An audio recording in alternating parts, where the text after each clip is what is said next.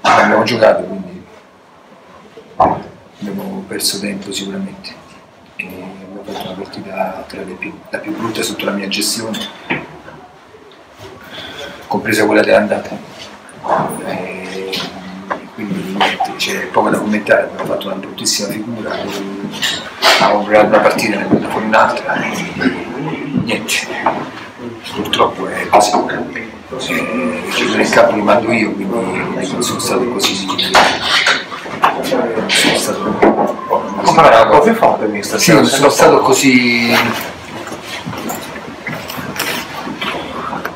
abile nel fargli capire l'importanza della gara. Era una gara che secondo me potevamo giocare come abbiamo giocato sempre con tutti, e- ma invece ci siamo fatti surclassare sia da un punto di vista tecnico, tattico, fisico, mentale. Eravamo grandi nelle marcature, quindi c'è poco da dire della gara. Poco da dire. No, anche perché Teramo arrivava da quattro risultati ultimi di fila in trasferta e soprattutto aveva vinto in campi, per esempio, dove il Pordenone non aveva vinto, a parte che poi le- ogni partita no, ha un, un suo copione, però queste erano, erano le statistiche. Sì, sì, eh, abbiamo fatto un percorso importante fino ad oggi, oggi abbiamo fatto una brusca frenata, ma adesso la testa è rivolta alla partita di sabato perché comunque abbiamo una partita di vitale importanza domenica in casa, sabato in casa e dobbiamo pensare soprattutto a- ad affrontare quella partita. Questa l'abbiamo giocata male, mh, atteggiamento sbagliato, tutti eh, veramente abbiamo fatto veramente una cosa non me l'aspettavo mai una prestazione del genere, però bisogna tenerne atto e, e Pizzarra non, non è inutile neanche capire perché, perché c'è poco tempo, ne mancano soltanto tre partite e quindi dobbiamo solo aspettare la gara di domenica di sabato e fare una settimana buona per prepararci sabato a, fare una battaglia in casa con la Vespesa. Quanti punti mancano alla salvezza, secondo lei, mister?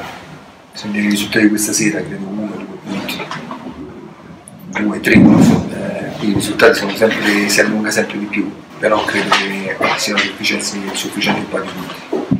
Per conquistare sabato appunto Sì. per- Senta, mm, una domanda sul terzo gol che eh, c'è stato quel cannellone si è tolto da, da o Magnaghi, adesso non mi ricordo, dalla posizione di fuorigioco. Stavo quasi in linea, mi sembravano tutti e due fuori gioco. Sì, è apparso anche dalla tribuna, tanto che poi da lì è nata la vostra protesta molto accesa, ovviamente non mi dice sul, sull'andamento della gara che sarebbe finita così, però volevo una sua battuta su quell'episodio. Siamo molto fortunati con gli arbitri, ma questo soprattutto ultimamente è un po' da, da recriminare, però non credo un episodio possa condizionare questa partita. Su questa partita c'è poco da recriminare. In generale è così, ma su questa partita c'è poco da recriminare. Sì, sì, però è sembrato anche lei fuori gioco, ecco, Sì, tutti sì, e due. molto netto. Sì.